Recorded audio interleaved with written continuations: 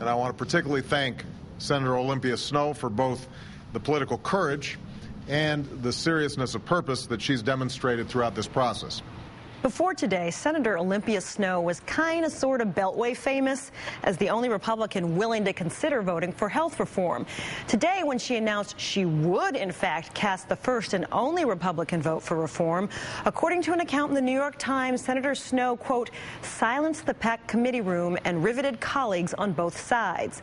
And that is when she became famous, famous, getting a very flattering political presidential shout out and landing two spots on the top 10 Google Trends list, where she was briefly number one, even beating out the NFL power rankings. But most importantly, she got a metaphorical seat at the negotiating table. Senator Snowe made it very clear that just because she's voting for this particular version of health reform in the Finance Committee doesn't mean she's voting for any old health reform on the Senate floor. There are many, many miles to go in this legislative journey. My vote today is my vote today. It doesn't forecast what my vote will be tomorrow.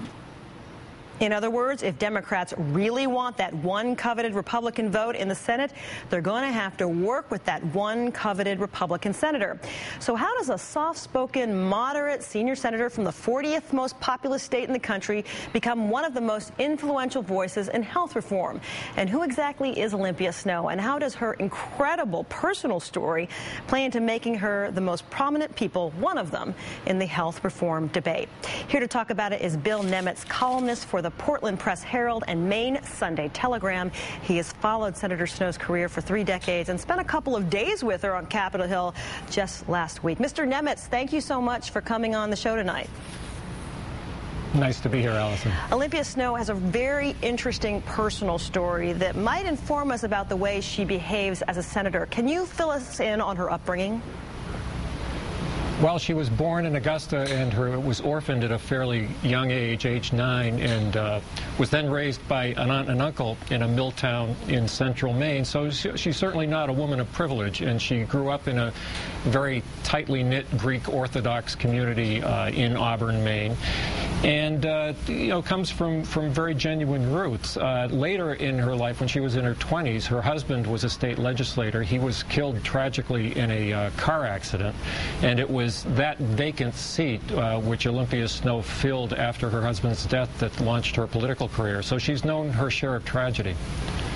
Does her vote today give us any indication on how she may vote on the final bill or whether she would at least side with Democrats in favor of cloture? Her vote today, I think, is just what she said it is. Mm. She's been very close to the vest about how she's going to go on these things, and uh, even up until late last week, was not tipping her hand on this vote. So I think when she says she's going to take this one day at a time, one vote at a time, uh, she's to be taken at her word on that. There's a lot that's going to happen between now and then. Will her vote have any influence on her fellow senator from, Col from Maine, Susan Collins? Hard to say. I would I would doubt it at this point. She really does seem to be that lone Republican out there who's willing to cross the aisle and give at least a bipartisan tint to this thing.